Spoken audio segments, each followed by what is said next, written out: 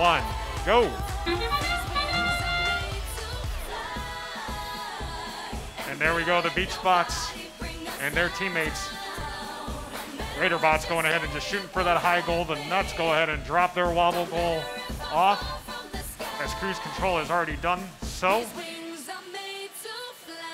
There's another couple there for Cruise Control into that top, just trying to clean up those four rings that are left over.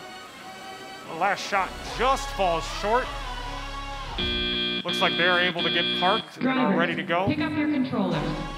Three, two, one. as teleop starts. A little bit of contact there between cruise control and nuts as they're running for those rings to try to get them in. Both beach bots and raider bots are going to have to try to make up for an autonomous mode that didn't seem to go exactly according to plan, but we'll see what they have in store here as cruise control is in that corner just shooting away at that top goal. And rings start flying out of field one by those human players. One, two, three for cruise control. One, two, three for nuts. That's another six rings into that top goal. Raider bots following suit, doing the same. Beach bots missing a little high there with one of their rings. With the number of robots on the field, these rings are bouncing all over the place as teams are aggressively trying to get them to cut those cycle times down. Another one, two, three for Raider bots, and the same thing followed up by the Beach bots. Cruise control thinking one right off the right hand side. Nuts says, oh no, that's no problem. Dead center with three in a row. Beach bots following suit as we have about 20 seconds left until the end game. Nuts just shooting a little bit too short, trying to inch us a little bit further forward to try to see if they're able to get one more up and in. Cruise control, putting two more in there for the red.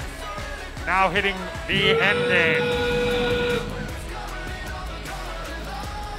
Raiderbot's going ahead and deal with those wobble goals. Same thing with cruise control. While Beachbot says, oh, it's time to go ahead and deal with those power shots. Two of the power shots down for blue. That end game should help. Red Alliance not really worrying about those power shots and instead just going ahead and shooting that high goal as time expires.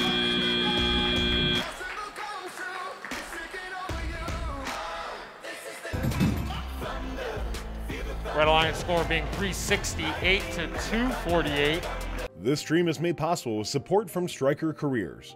Be part of the future of medical device technology. Join an incredible Fortune 500 company that will support you being a mentor or volunteer in FIRST. No matter what stage you are in your career, Stryker has something for you at careers.stryker.com.